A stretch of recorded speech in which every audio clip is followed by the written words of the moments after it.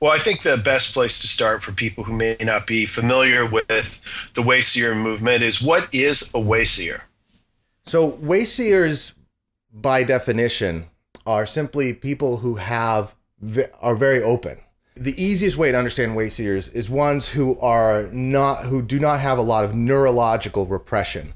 Neurological repression is the stuff that goes on inside your brain that stops thoughts and impulses from the subconscious and the unconscious mind from entering your conscious awareness.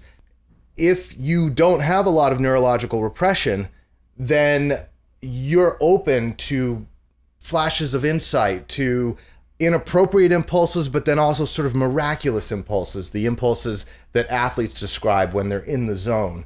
You have an openness to distracting ideas. You might be a visual thinker and all sorts of daydreams pop into your mind.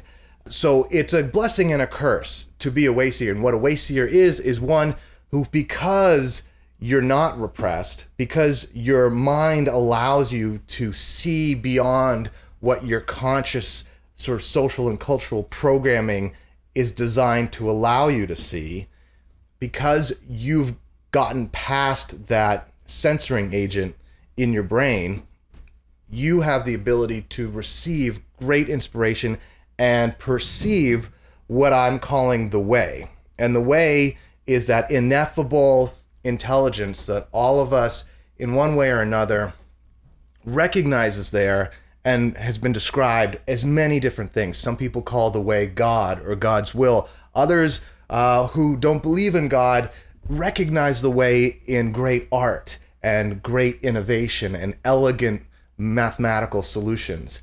So the way is ever present in all of our experiences, and Wayseers are the ones who are open to really seeing the way consciously